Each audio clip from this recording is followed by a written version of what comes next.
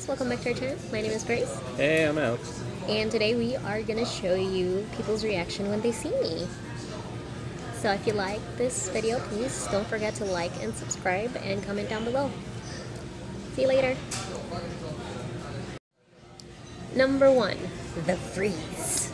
So pretty much 80% of the time, the way people react when they come across Grace in a wheelchair is they're sort of just deer in headlights.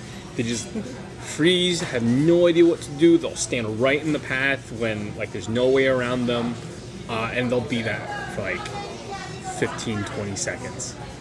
Number two, the a sidestep. It's like when people aren't sure where to go. Number three, the jump back. So basically, the jump back is another alternative to the sidestep. When the person does realize they need to get out of the way, they just do it in the completely wrong direction, which is backwards, which means they're still in the way. number four. The busy bee. It's like when people aren't paying attention and they just keep on their they're either on their phone or they're not looking and they just pretty much go straight on and then they don't see me there's like there's an accident about to happen because they're not looking number five the god bless you. So people ultimately older people tend to say god bless you because they see me like hey you're being productive in life and all of this and god bless you. And i guess that's a good thing but to me it's just a little bit weird because there's this connotation that hey people in wheelchairs shouldn't be able to do the things that i'm doing.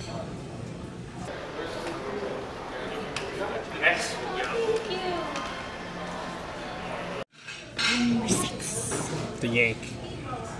so people tend to yank their kids out of the way And we understand the courtesy, mm-hmm. but it just seems a little bit weird because it's almost as if she's like barreling down the street and she's not.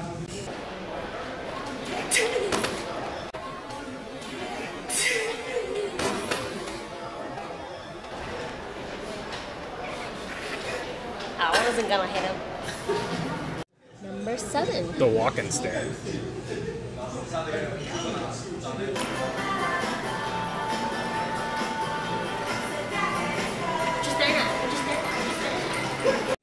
Number eight.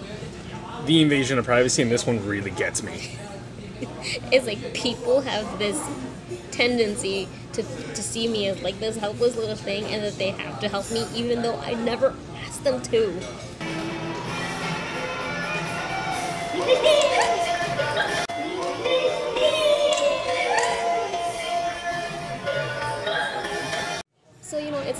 not enough to have all this weird stuff happen to me, but the most common things that people say to me, especially like weird older guys that try to hit on me on the street, are these. Number one, you're too beautiful to be in a wheelchair. The F is that supposed to mean? How you doing? You're too pretty to get on the wheelchair. And the other one is, I'll be your therapist. What's that supposed to mean? Do you have a license? I'll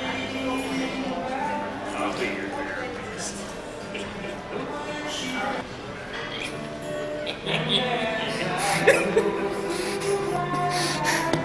So thank you guys for watching. That's about it for us. And if you like these kinds of videos, please let us know down in the comments below. Yep. So please don't forget to like, subscribe, and comment.